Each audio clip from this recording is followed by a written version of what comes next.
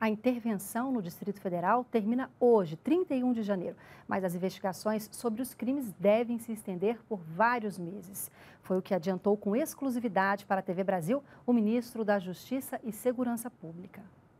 Em entrevista exclusiva à TV Brasil, o ministro da Justiça Flávio Dino falou que todos os atos ocorridos anteriormente ao dia 8 de janeiro estavam sendo planejados dentro do acampamento em frente ao quartel-general do Exército, em Brasília, e que acredita que isso seria apenas o início de um grande movimento nacional. Creio que havia uma expectativa ali dos, dos golpistas de que isto seria uma espécie de estopim que a partir daqueles eventos muito fortes, de eles ocuparem a sede dos três poderes, haveria uma espécie de efeito dominó, um efeito cascata, que, que outras pessoas em outros lugares do país iriam fechar estradas, invadir quartéis, quartéis se rebelarem, e isso não aconteceu também. Questionado sobre os próximos passos da investigação, o ministro disse que elas estão avançando rapidamente, mas que ainda há muito a ser esclarecido, o que pode levar vários meses. Eu posso garantir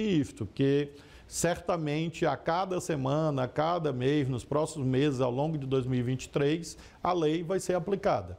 E eu não determino que a lei seja aplicada em relação a pessoas, e sim em relação a fatos. Se essa pessoa é agente público, se ela é agente privado, se ela é empresário, se exerce qualquer outra profissão, se ele é político, se deixou de ser político, se exerceu cargo público, não importa.